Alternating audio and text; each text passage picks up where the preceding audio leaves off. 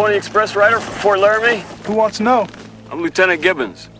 Been ordered to relieve you of your communique and deliver it personally to the Undersecretary. You got these orders written down somewhere where I can see them? Of course. That's far enough. What the hell do you think you're doing? Being careful. Now let's see those orders.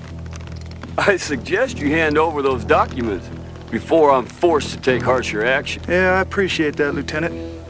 But I think the only action you're gonna be taking is getting on down off that horse of yours. It goes for you boys too. Let's go. Move. They just got one shot. That's right. You're the closest, Lieutenant. Do what he says.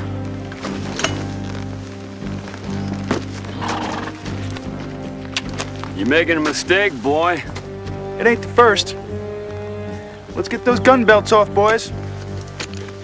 Throw them around those raffles. Now scatter them.